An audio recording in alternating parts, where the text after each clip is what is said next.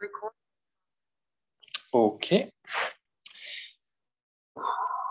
So as I said, today I will come back to the notion of limit and colimit in category theory because we will need to redefine the notion of endomorphism of and f with f the fiber functor of a ring category when it is not finite.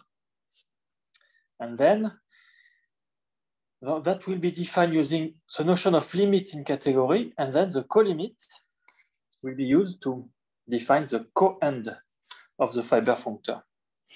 And this is a tool we need to, to state the reconstruction theorem in the infinite setting. So limit and colimit in category two. So last time I already talked a bit about that, but this was a bit confused.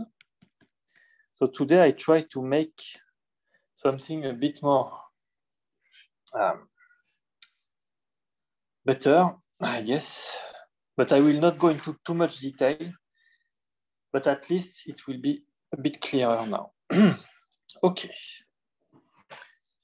So, um,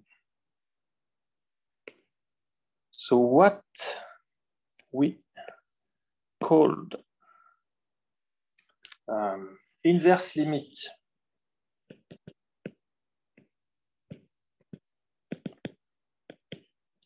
denoted lim with inverse arrow like that.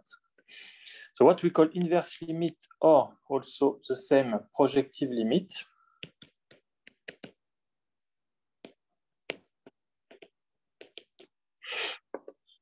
is in fact is just called limit in the general uh, category theory. So this is just the generalization of limit. Whereas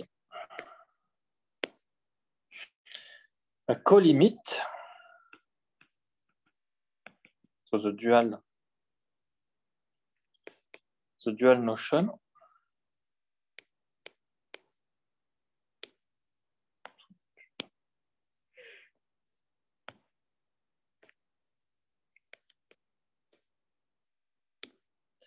so the colimit.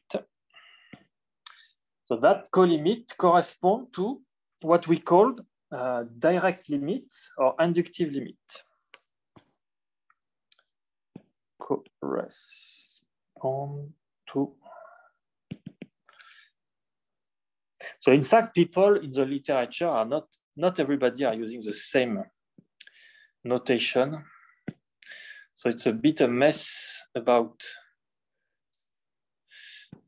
this notion of uh, limit.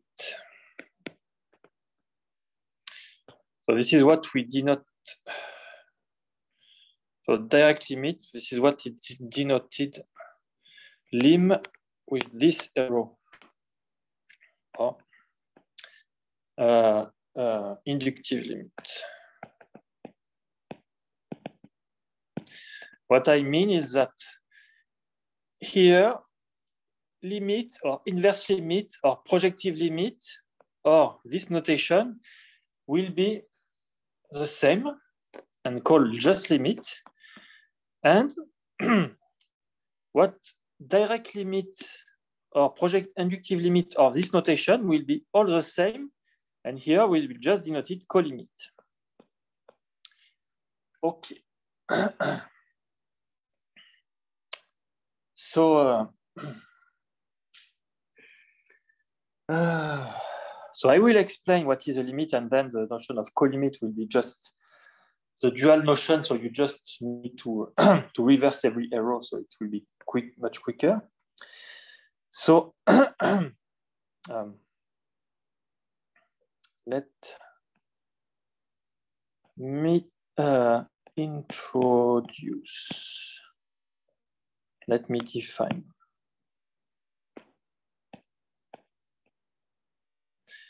The notion of limit. So uh, um, I used I use Wikipedia. Wikipedia. So I will try to make something not too long, maybe one or two slides. but what I will write is more or less what is written on Wikipedia. anyway, so let G be a category. Uh, think it as an index category. By index category, we mean a category used to provide index. G from J, so J, I can G, J, from J to C. So C is another category. J is a functor, uh, a functor. So this is a category of index. C is another is any category, and J is a functor. A functor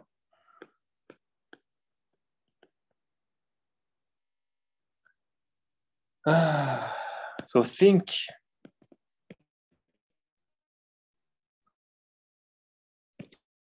it as in collection of object morphism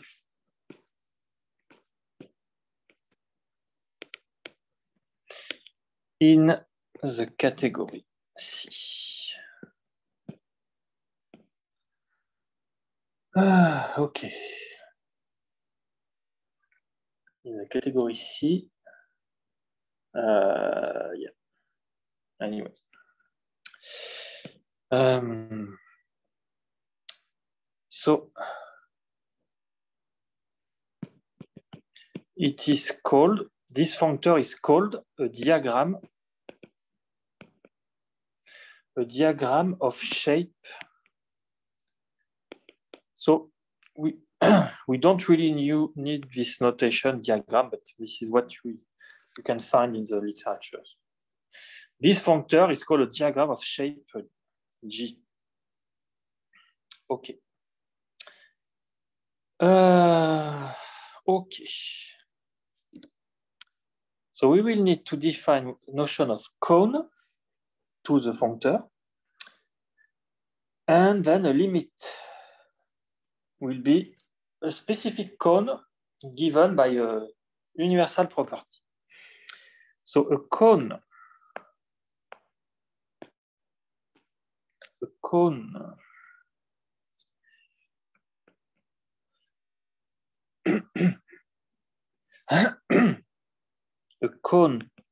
G uh, is an object. Uh, n. In the category C. Together with a family of morphism of morphism. Phi x from n to g of x. Indexed, or the family is indexed by the object. Uh, X in the category G, and such that um, for all morphism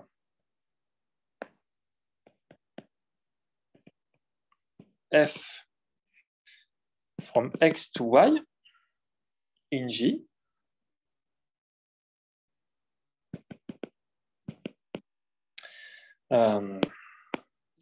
GF composed with phi x is phi y.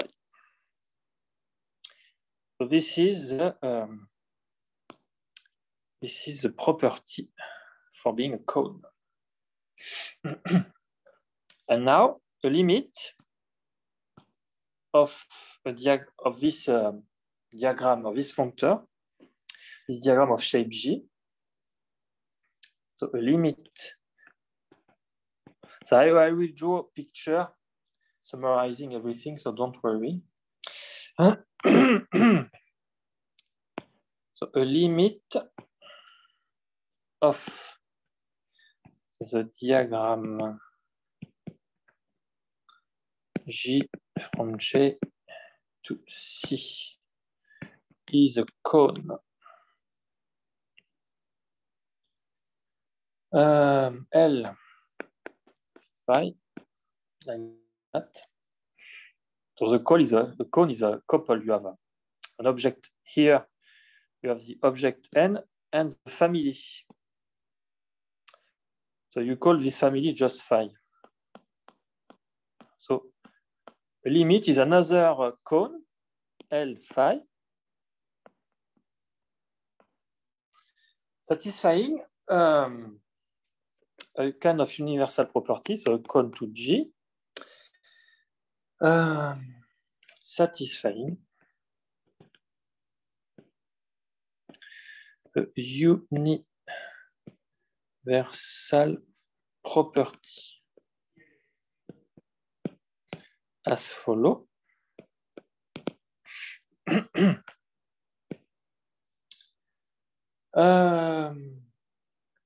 so for every for every other cone and phi G, there exists a unique morphism U from N to L such that phi x composed with U is uh, phi. So I don't know how to call this. These two I say phi. Uh, psi maybe psi phi. One is psi, the other is phi. I don't remember. Anyway. I wrote something different. So like that. And in fact, so you have the big, uh, you have the big, the big um, commuting diagram. So you have, so you have the object you you are looking for. So L. So let me write it in green maybe. L. And you have the, uh, so it's a cone. So you have the, the commuting diagram for the cone. So for all f, um, for all x and y, and all morphism between x and y, you have, so you write like that, and you have this commuting diagram. So this commute, this is a definition of cone. And then if you add another cone, n, like that, cx, c, uh, y, then you have a, map u. This is uh, exactly the everything commute, and this is a definition of a limit. Uh, okay. Uh, so in other words, so I will write here uh, an alternating definition, something alternative in other word um, something which will, um, in fact, reformulate the, this commuting diagram. So let uh, lim inverse of gx be the object L. so maybe I write, I don't know, I don't, it's not usual, but I want to write like that, x in G. That you don't find that in the in the in the reference. You don't write x in G, but I I want to write it here for understand. So limit. In fact, you have limit. You can apply this uh, limit inverse of this uh, limit to the Hom set n so x in G. And so you can apply it to Gx or to, to, the, to this Hom set, in fact. There is no, no problem. It's also a category. Um, and this should be equivalent to Hom C of n limit inverse gx. So this is more or less what this diagram is saying, more or less. And this, um, this alternating definition will be used to get a better idea of what we mean by colimit. In fact, you can define colimit also, but you reverse everything. But uh, there is also a, a, short, a shortcut, a short path to get colimit just using this alternating definition with Hom set, because you will just need to, to reverse some something and you, you will get uh, colimit. So I will write the detail. So what about colimit then? So colimit is, uh, as I said, you reverse the arrow, so it's the same. So colimit will be quick. Um,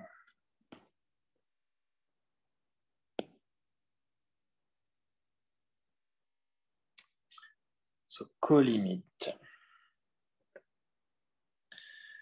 Uh, colimit.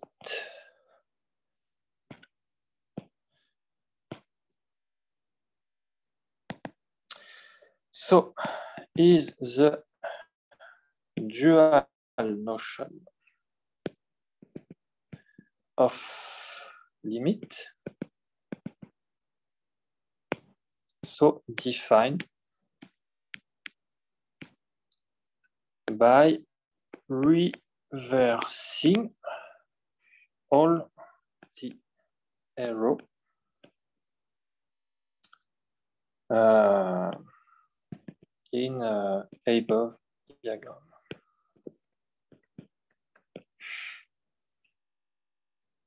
So, so it's it's a co cone. So it's a dual notion of cone L phi satisfying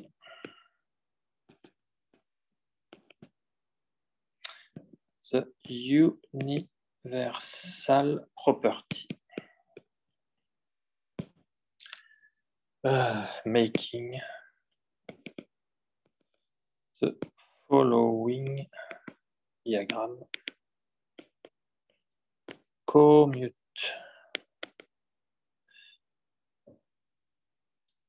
So you have, uh, so as before, you reverse all the arrows, so L. So you have G, X, G, Y, G, F, phi X, phi Y. So that make, the commutation of that make L phi, a co-cone, and then if you add another co-cone, like that. So exactly the same, there is no, no surprise. Then you have an extra morphism, U, making everything commit. Um, okay. Okay, and so as I said, you can, you can, in fact, you can just use the notion of limit. You can use the notion of limit directly to define colimit using the reformulation with set. So in other words,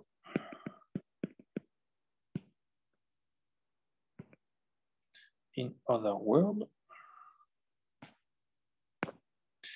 um, uh, let uh, um,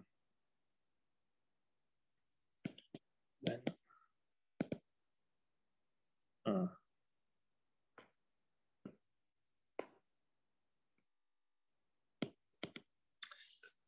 um,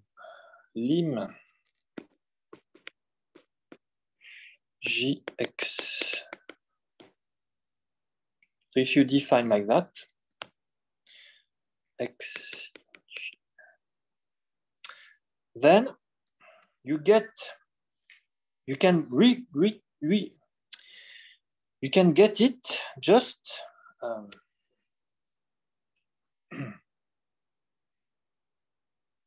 like that.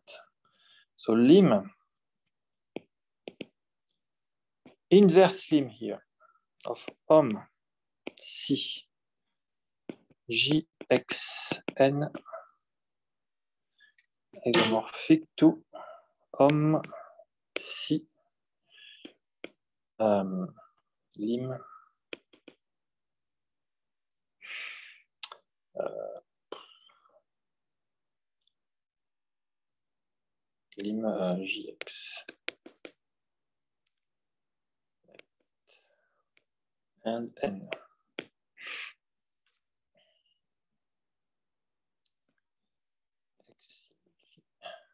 X in G. And you see here, this is, um, so you need here the limit. This is here, this is limit, not the colimit. Um,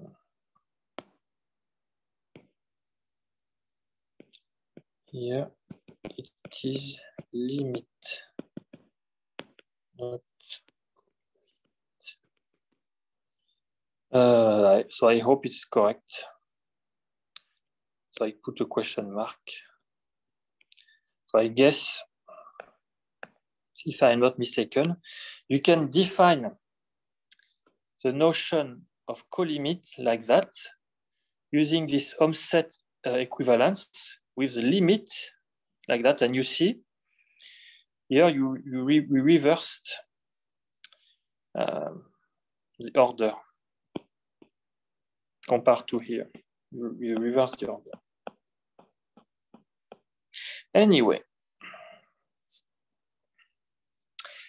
Um, um, as I said, this can be used. It can be used directly to define L uh, up to up to some representable representability problem. Uh, some representable assumption. So it's not maybe not always possible for a completely general setting of category. Uh, representable assumption means that you can represent you can represent a functor like like by a uh, using Hom. uh,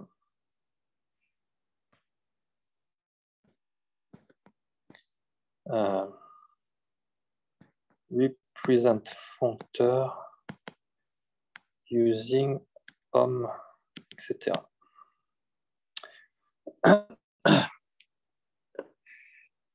so here you have a kind of functor. And if you can represent this functor using Hom, then and of something, then you can define this something. But anyway, I, I, this is what I mean by representable assumption. and here the same. Um, under some uh, representable assumption, you can define the limit, the co-limit, directly from, from the limit. and here, the point here is that under some uh, representable assumption, here you, you can define the limit in general, whereas here it's only uh, set if you assume that C is a locally small category. If C is a locally small category, then this, the, the Hom are set, they are Hom set, and then you just need to define the limit on set. And then under some representable assumption, you can get the limit uh, for um, something which is for a category which is not a set.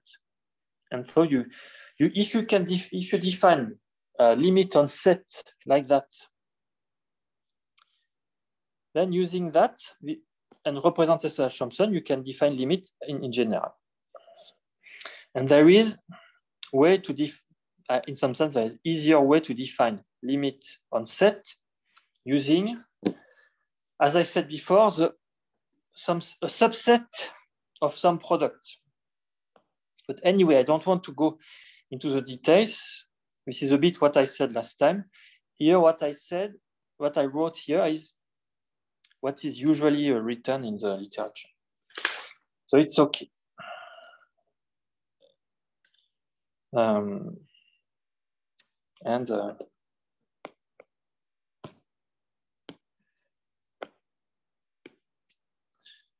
plus remark.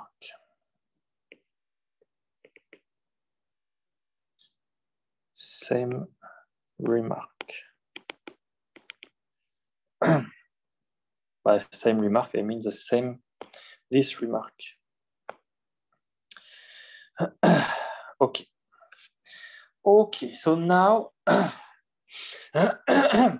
I said, when, so to get a better intuition, when the category, when J is a small category, which mean uh, uh, the object.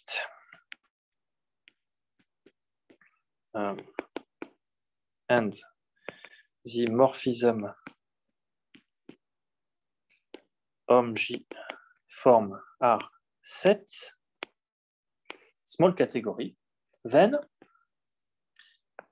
then limit is can be defined as a subset of the product for x in G. So now it's a set, so we can define a product of something. I leave it in exercise. So it's a product, subset of product. Uh, so exercise. Exercise, what you should write here. And the co-limit, what time is it? The co-limit uh, can be defined as a quotient of the co-product of something. And what is something is also an exercise. So this is a co-product co so a quotient of a coproduct. And in the, in the case of set, the coproduct is disjoint, disjoint union, disjoint union here. So disjoint union. So it's a quotient of some disjoint union.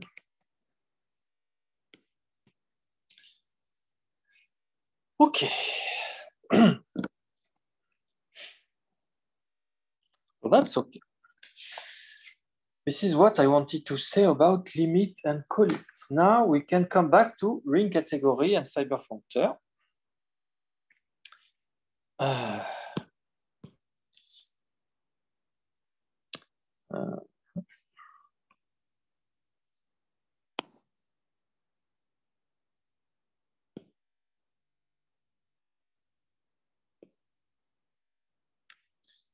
now,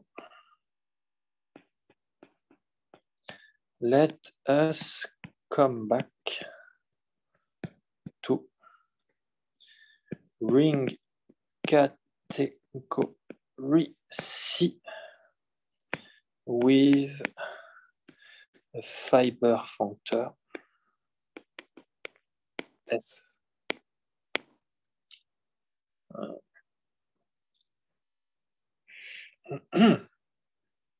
okay. Ah. So then, what is, so what is denoted inverse limit? What is uh, noted limit inverse? And of fx in the book in section uh, 1.10 of the book.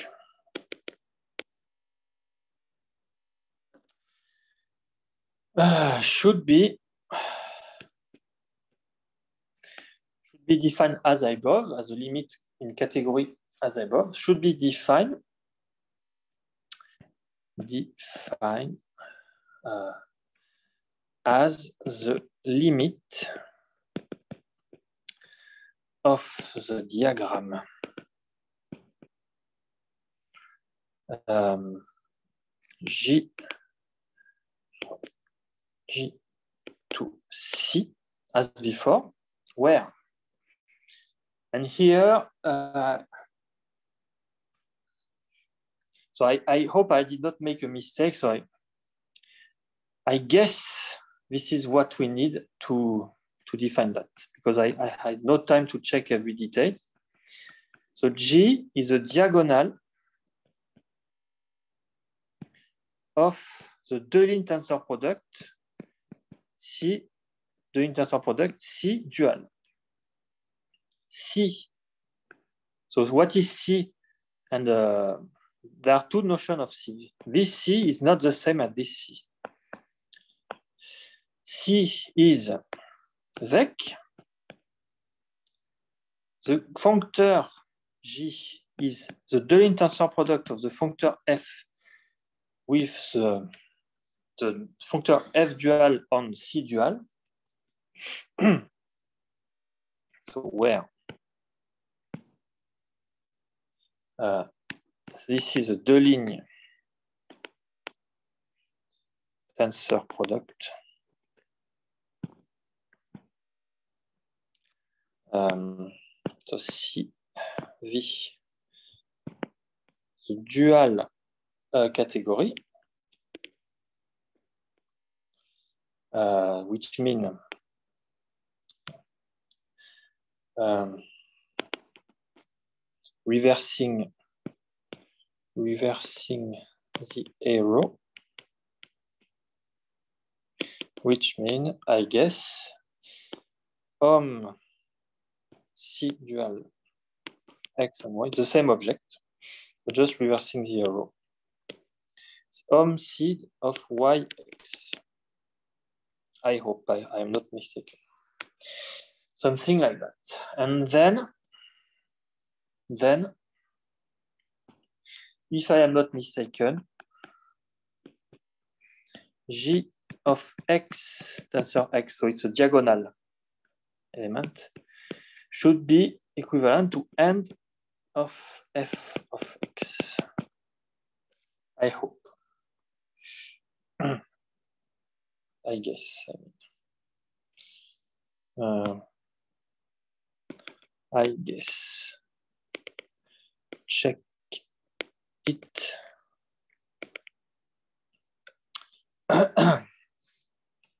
Exercise as an exercise. As an exercise. Okay. And finally, uh, uh, finally, uh, so I will write it in a new section, new, new slide. What time is it? Not, not yet the pause.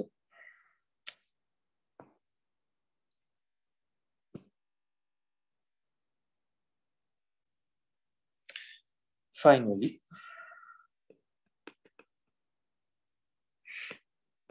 as another exercise, base by the commuting um, diagram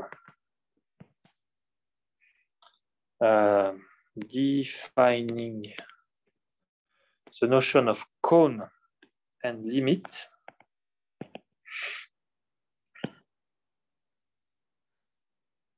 Uh,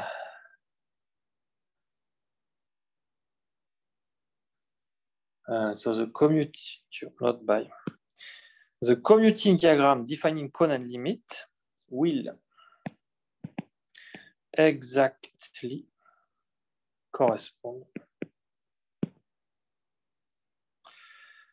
to the commuting diagram for the notion of natural transformation. Commuting diagram defining a natural transformation. Um, like that. And F is made of that. So that uh, the limit of oh, sorry, the limit of the diagram of this the diagram G uh, of of shape G um, is exactly so the limit uh, what is what, how I the limit of the diagram yeah is exactly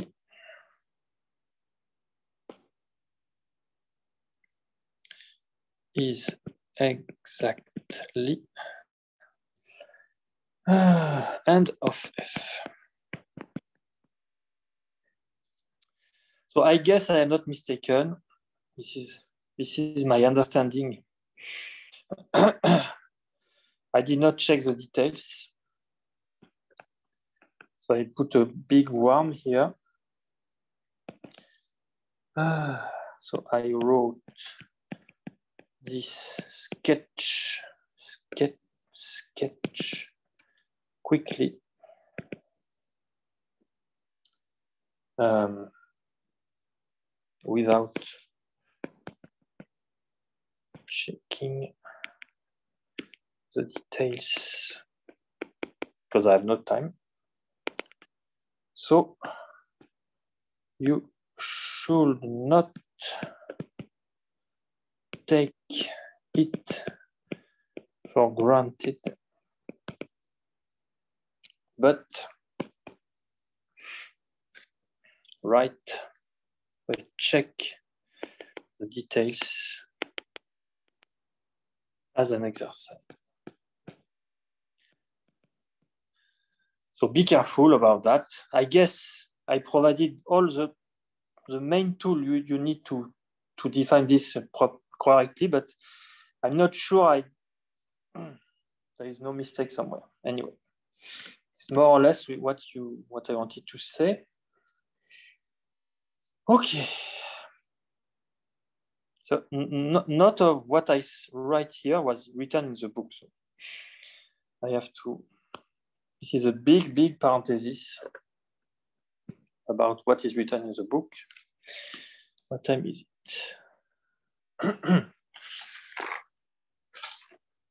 but otherwise you cannot, if you, if you introduce something without definition, this is not understandable for people who are not uh, comfortable with category theory. So at least I made this a bit more understandable, even if I did not write the details. So now, now we will come back to Hopf algebra. So we want, we are in the infinite setting. Uh, so in the infinite dimensional case, we, how to make Hopf algebra structure. So as I said, we will not have Hopf algebra structure on that, but on the dual of that, the colimit. so, um, so I, it's almost a pause. So now, so we need, we know that there is a structure of um, uh, so we define the bialgebra from end F. In the finite, here you have some kind of topological problem. So because end F may be infinite dimensional in general, uh, then the, the tensor product of end f with itself is not exactly the end of f tensor f, but it may be a strict subsector. So, so is it, um, so wait a minute. I am checking something. Um, yeah, so it's yeah, it's a Deligne tensor product.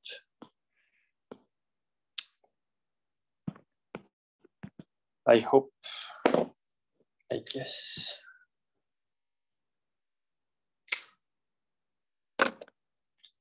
Uh, yeah.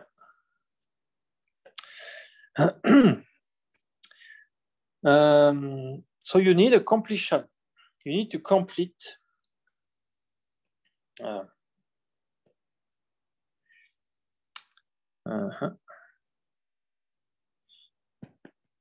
So you need a kind of completion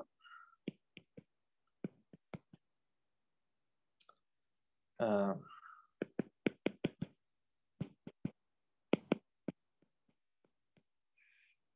and this is uh, completion completion with respect to what is called a, uh, inverse limit topology. So a topology induced to a topology induced by the inverse limit definition of end f. Hmm. So end f is defined as the inverse limit of end fx, and end fx is uh, matrix algebra. And so you have topology on that, and using the inverse limit, I don't write the details. you get what is called inverse limit topology used to complete this into this, and then you really have equality. So yeah, this is some topological problem. So I will make the pause here. And we will talk after the pause about co-end.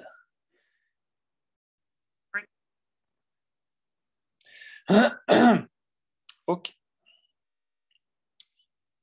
Now, as I said, so we have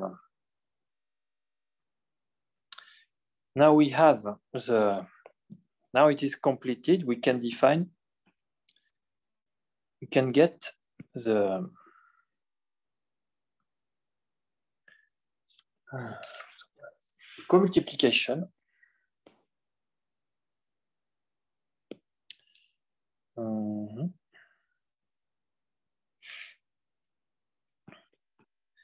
The co-multiplication of and f. The algebra and f. Is continuous. Continuous. Continuous. Linear map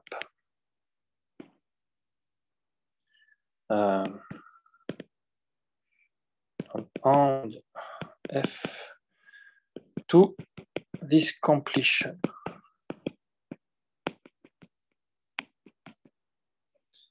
Uh,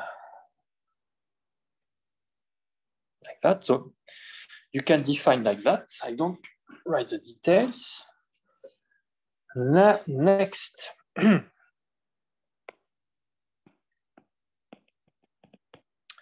um, co-end f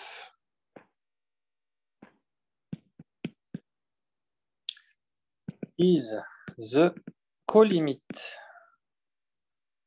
like that, defined like as a co-limit like that.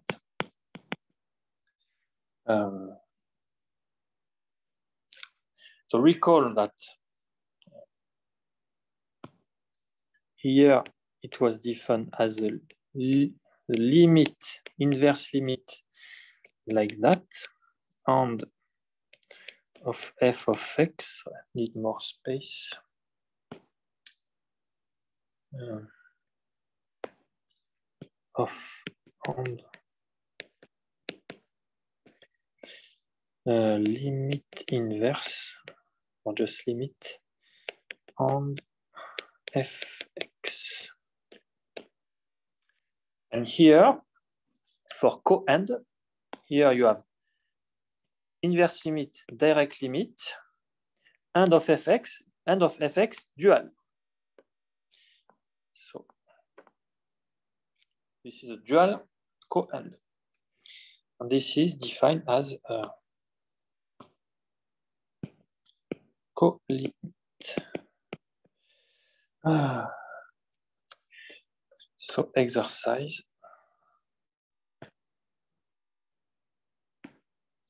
Exercise.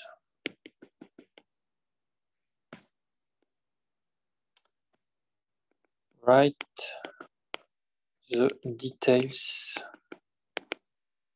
for uh, define and F as uh, like that. okay. so you see, um,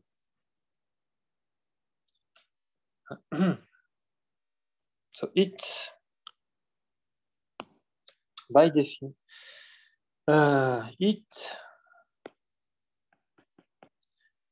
uh, inherit of a co-algebra structure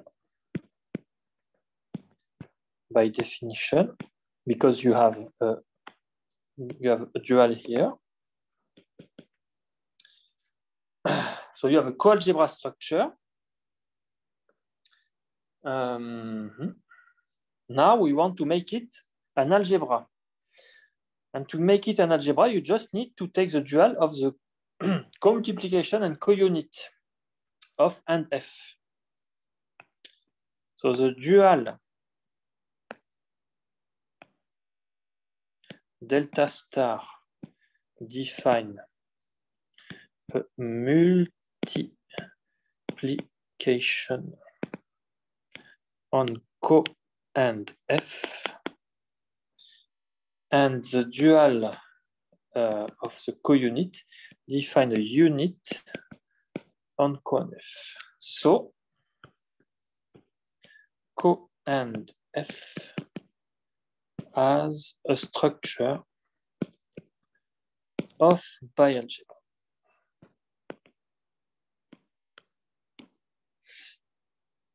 Okay.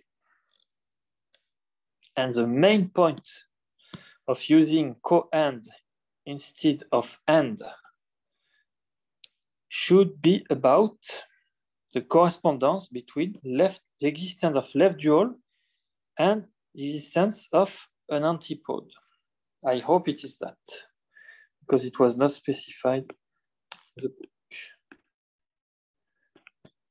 So if C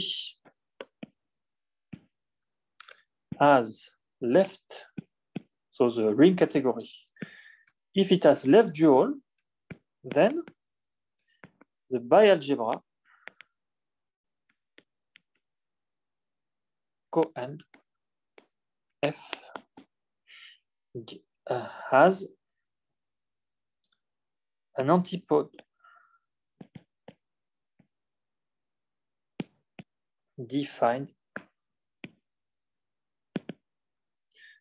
as before. So you already define antipode from the existence of left dual, and you can define antipode here in the same way. so my guess is I guess it does not work for end F in general.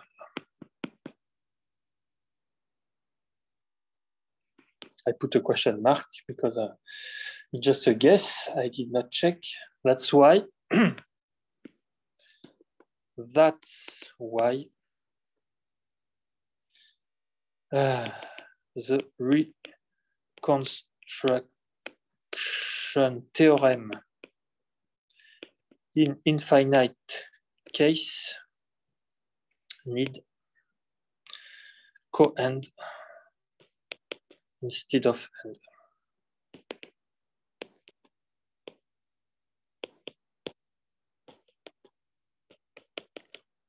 So I guess it is that. Otherwise, I don't know.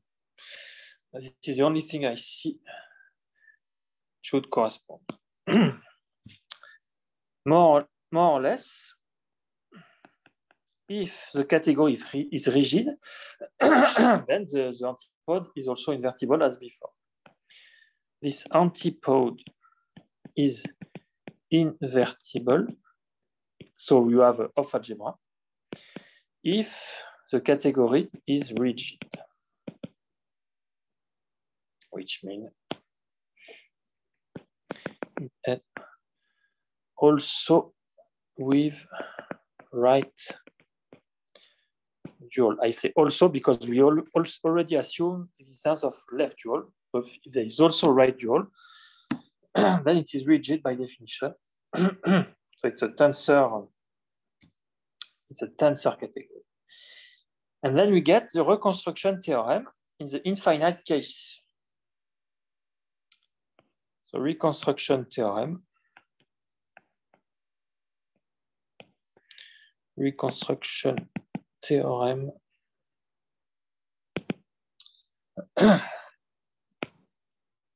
so the assignment, assignment uh, CF to H equal co-end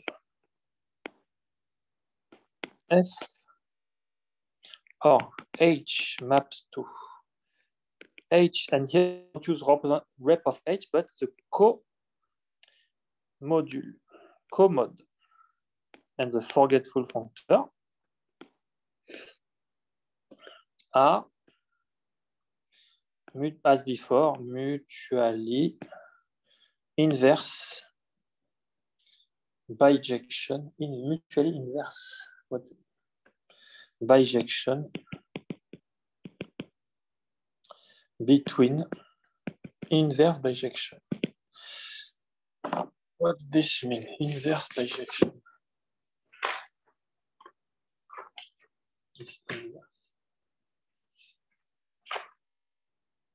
Inverse bijection.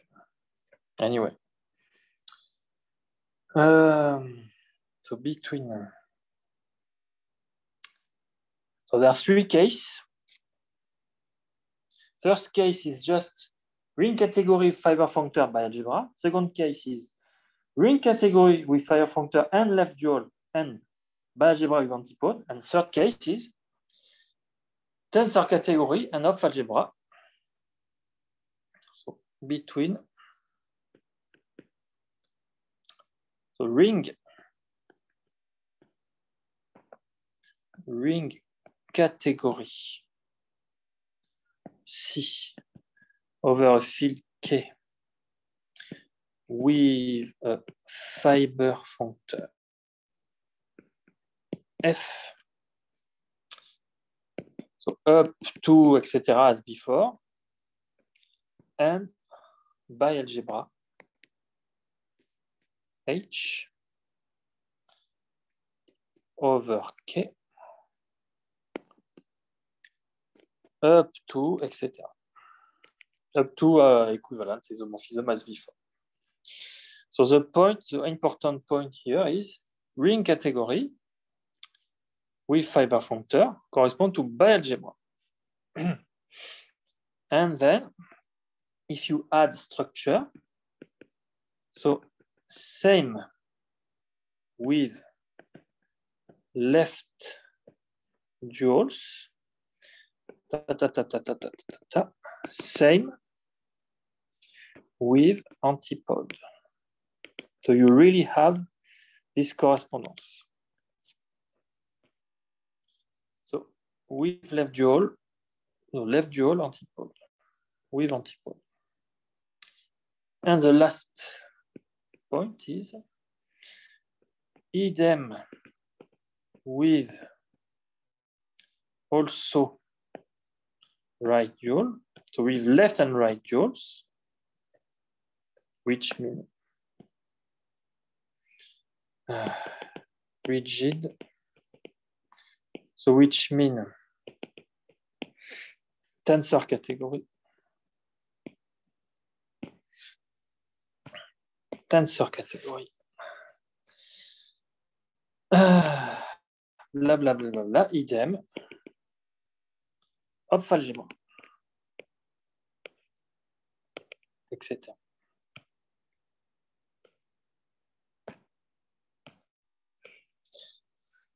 So you see, uh, everything is everything is clean here. This is a, a really nice reconstruction theorem.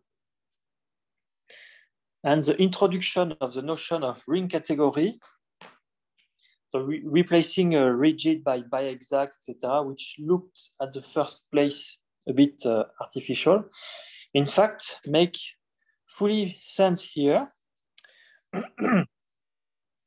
because it corresponds to the difference between bialgebra and Hopf algebra. so it's a ring category, tensor category, bialgebra, Hopf algebra. so this is really nice. Here we are in the infinite dimensional setting. And the, the point here is we need to use co-end and H commode instead of and and a rep. so it's a really, really beautiful theorem. Uh, yeah. Um,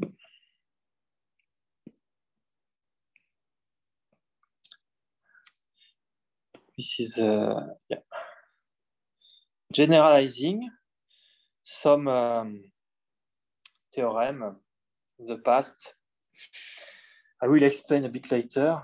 Some generalizing the, the to algebra, the reconstruction theorem for group due to Pontryagin in the abelian case, and then Tannaka and Krein in the non-abelian case, and then generalization by uh, Weil, uh, I will explain, Cartier, the notion of Tannakian category. I will explain a bit that if I have time. So before that, two remarks about what we can deduce from reconstruction theorem in the infinite case. So we can prove some result in Hopf algebra using this reconstruction theorem and some non-result on category. So above above theorem permit. A categorical proof of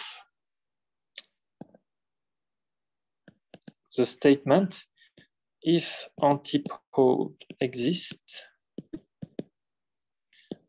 then it is unique in the infinite setting without assuming uh, finite. Using what you can expect using the proof state already proof statement if left dual exists then it is unique. Left dual exists then it is unique up to etc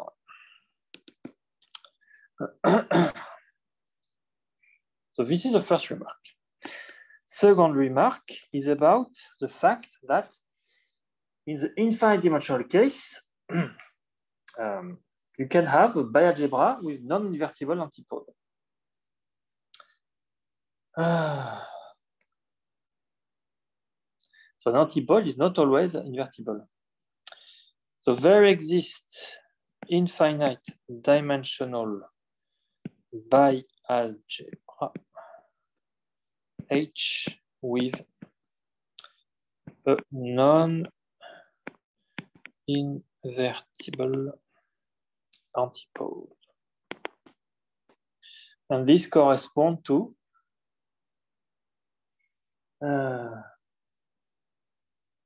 so I mean some previous proposition in the finite dimensional case does not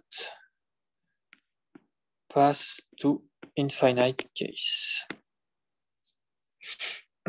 and this corresponds to, this is in correspondence to the existence of a ring category with a simple object one. So this is as it is written in the book. So I just copy this simple one.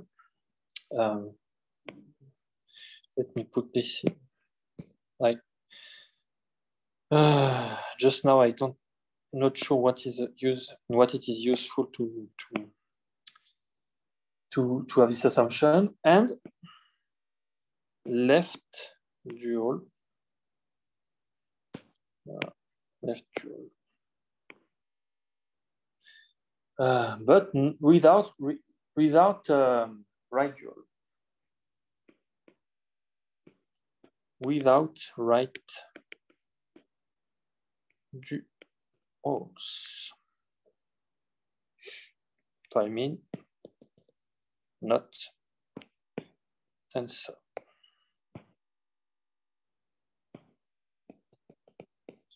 Not tensor. And here you take, for example, for example, you take H as above, the H comod. So you, you have an example such category, you take just this, assume you have an example of such bialgebra, you take H comod, and this, this is exactly such a category by the reconstruction theorem. So now, um, to finish today's session, we will discuss a bit about Tannakian category theory.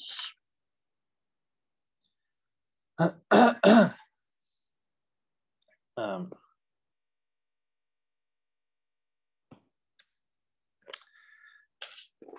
uh, so, history, history of reconstruction theorem on the group case, which will finish by the Tannakian category theory. And what we state before is a generalization to the quantum world, if you want, the non to Hopf algebra in general, generalization of the Tannakian category theory, reconstruction theory. so history about reconstruction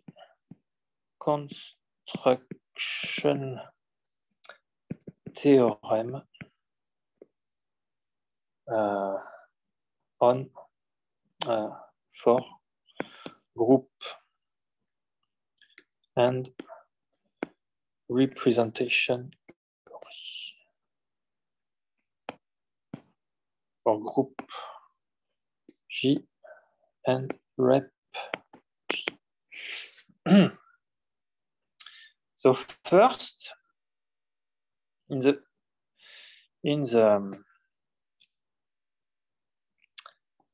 so on compact and next locally compact but first compact uh, topological abelian group topological abelian group. Uh, so this is due to Pontryagin Pontryagin, Pontryagin. In uh, at this time, um, so he, he, did that for uh, compact, compact or discrete, discrete, discrete.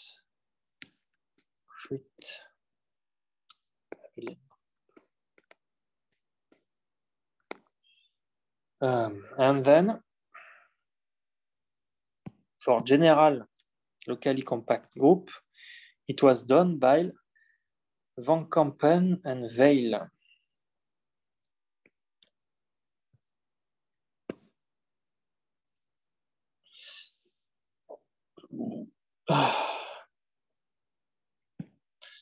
So you have Van Kampen. um, at this time and Weil at that year for the general locally compact abelian.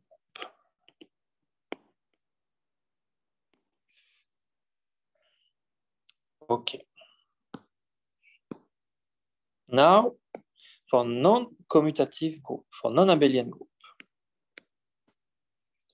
For non-abelian group, this is what is called Tannakian category theory.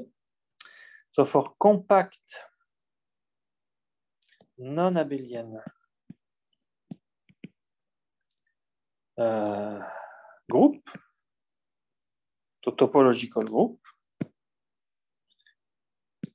topological, topological group.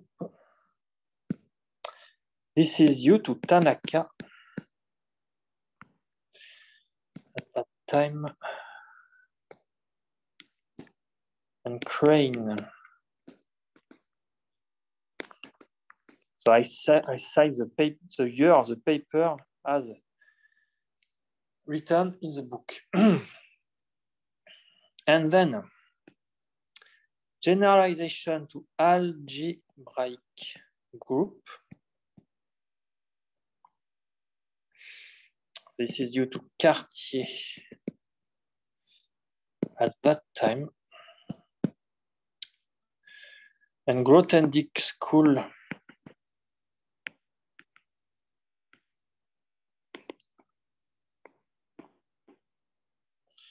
uh, so by Grothendieck School, we mean um, um,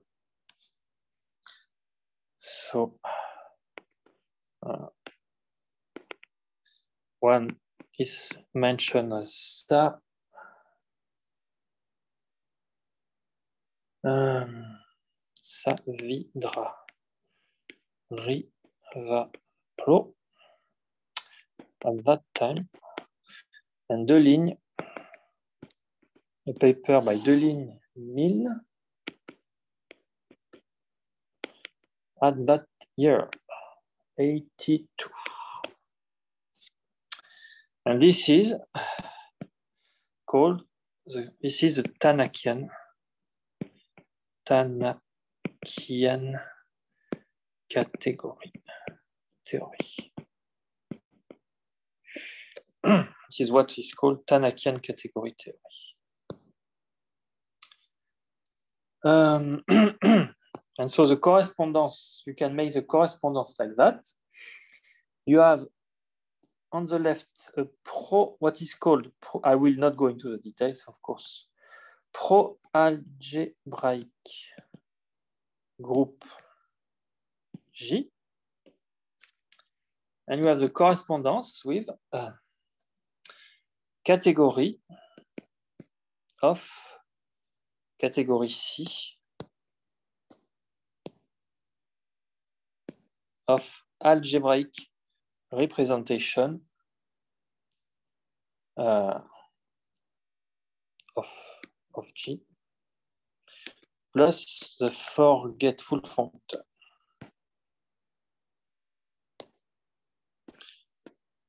Forget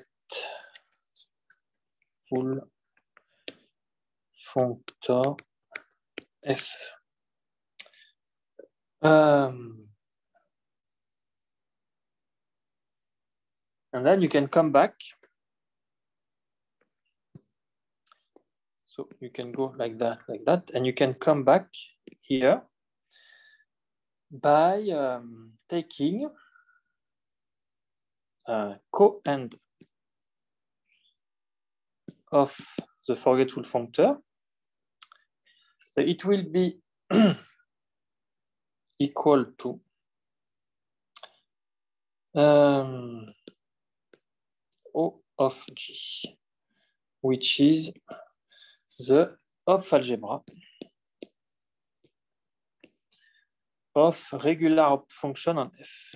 Regular functions on G, on G, sorry. And then you can you can recover. You recover G as the spectrum spec of yeah.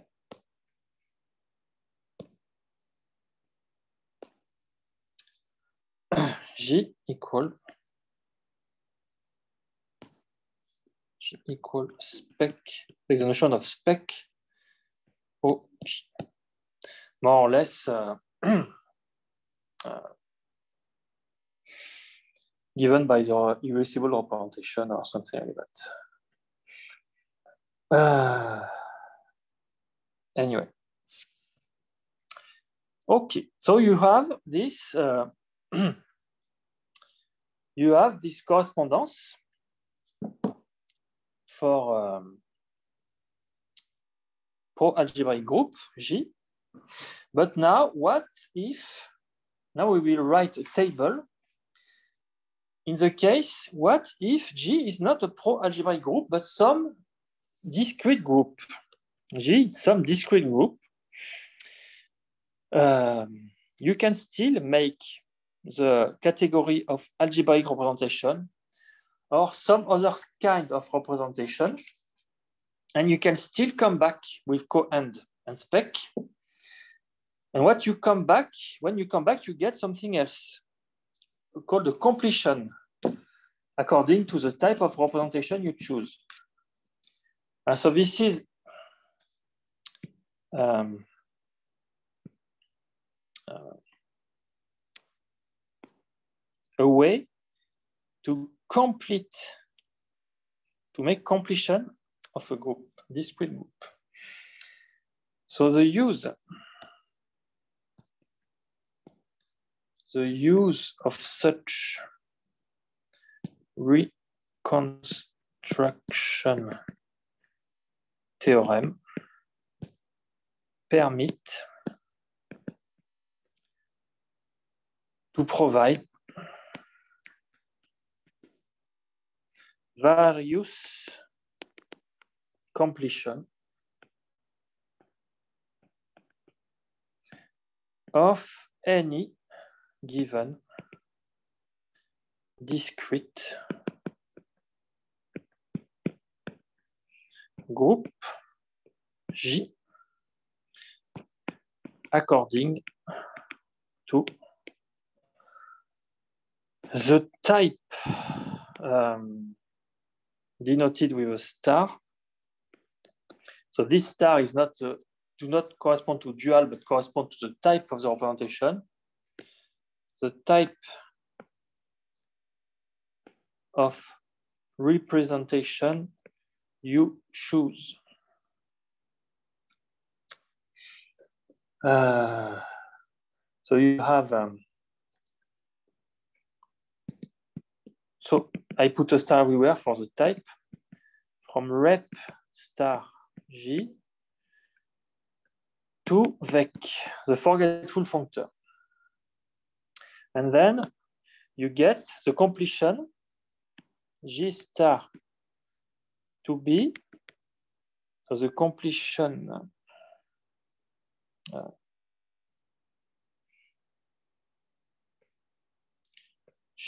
G star like that. This is what I call the completion. Uh,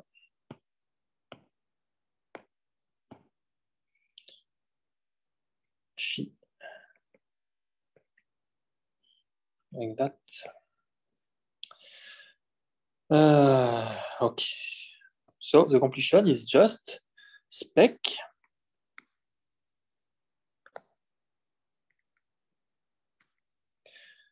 of coend of this forgetful functor. According to star, the type of the representation you choose. So, uh, so I will write a table, uh, five type of representation, uh, pro-algebraic, pro-reductive, pro-solvable. No, this is a completion type. The type of representation is finite dimensional over a field, semi-simple finite dimensional, triangular, unipotent, etc., etc. So this is a table of well-known way to complete well-known type of representation in the Tanakian category theory. So type of representation and then uh, completion type. So the name, completion name.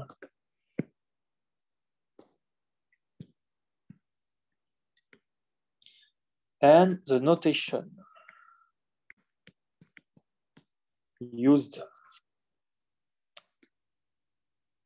So if it is you take the, the category of representation of finite dimensional uh, finite dimensional representation over a field K.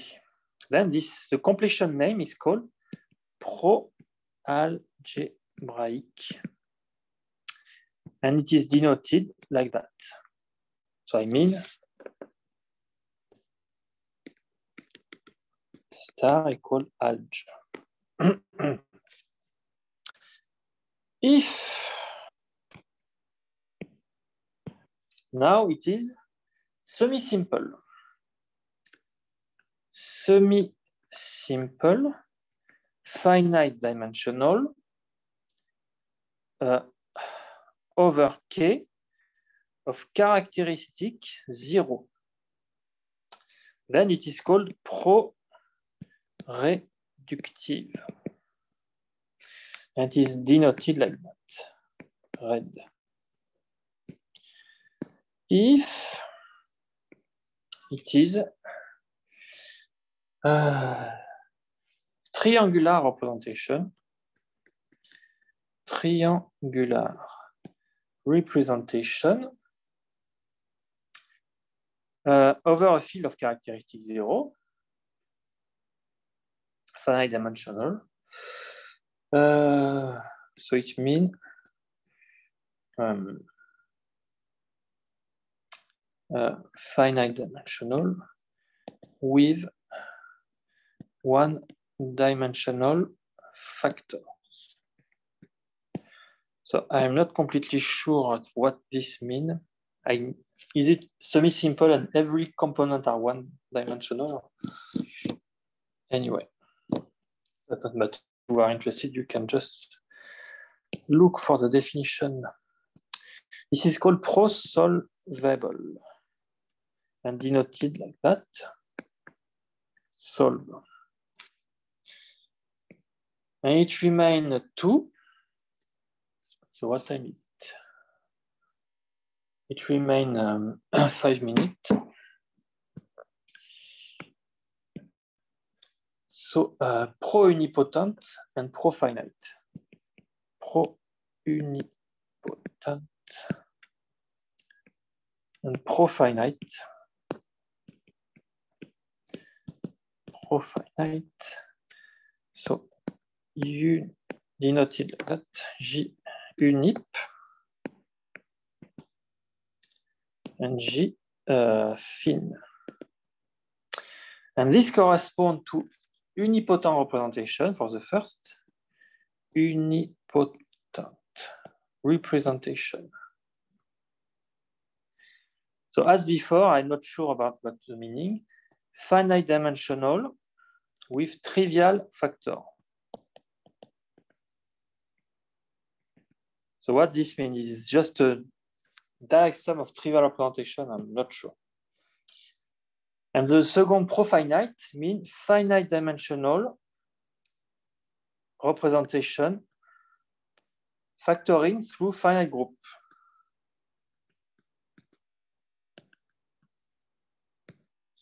Finite group.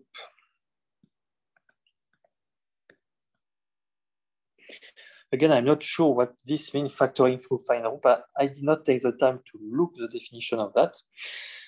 But it should be, yeah, something you can expect, I guess. Uh, okay. So this is the big history of Tannakian category. Um, so it remains five minutes. What should I do? for five minutes. Uh, mm, so I have no time to do what I wrote here. So if you are interested in that, to, to have more details, you can go to the reference. So this is written in the book. Um, on uh, page 98.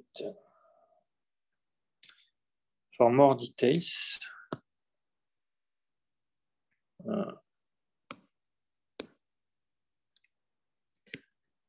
for more details, see book on page. Um, 98, 99. This is called example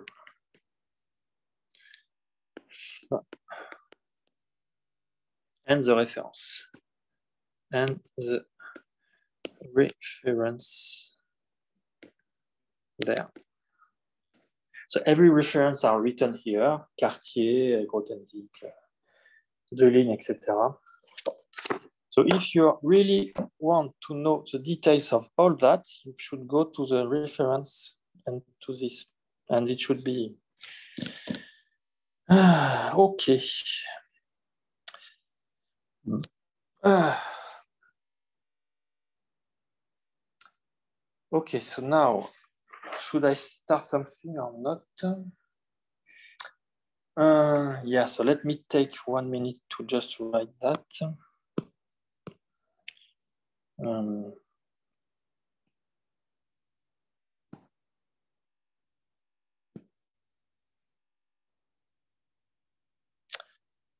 uh, so there exists canonical homomorphism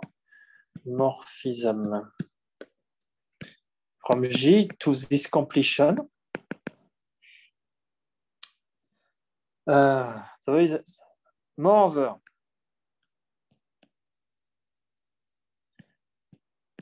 Um, this is can be defined as an inverse limit of algebraic groups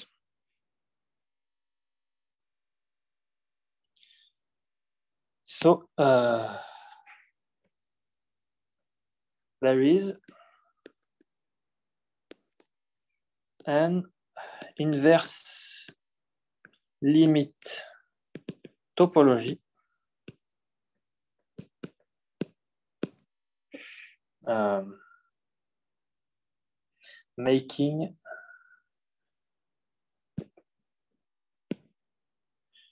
um,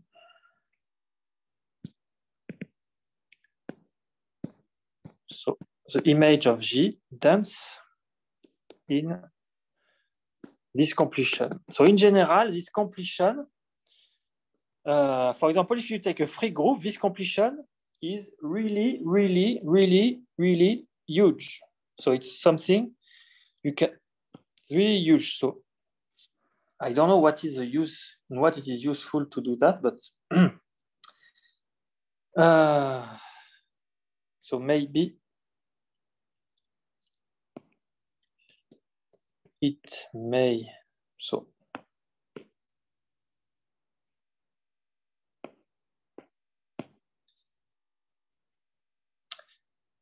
um, remark. May be really huge. Si J equal the free group.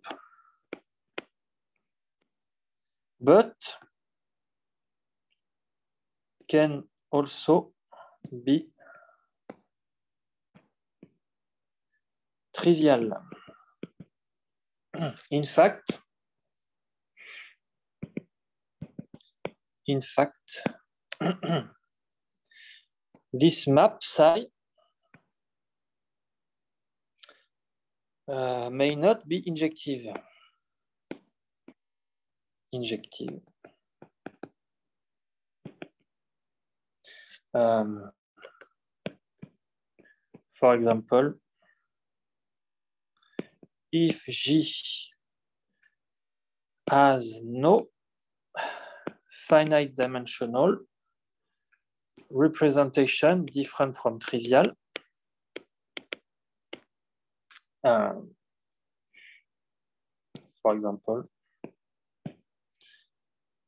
uh, J again to, to take G a finitely finitely generated generated infinite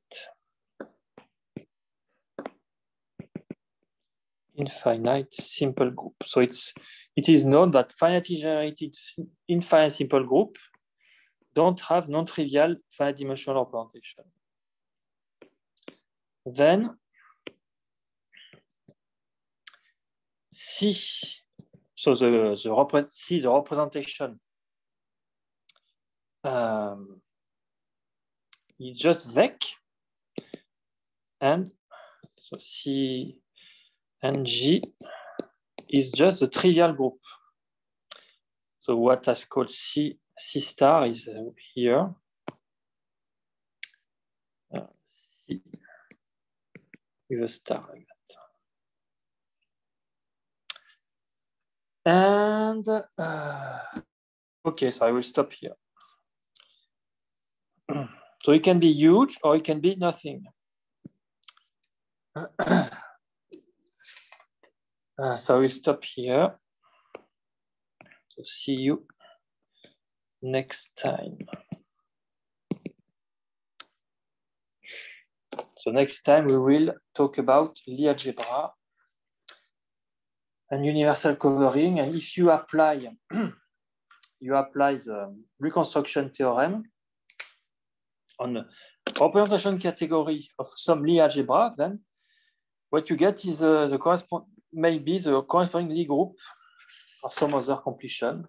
And then we will talk about deformation of the universal enveloping of a Lie algebra to get quantum group and some non-trivial Hopf algebra. So I will talk about that next time. So I will stop now. So you can um, ask question on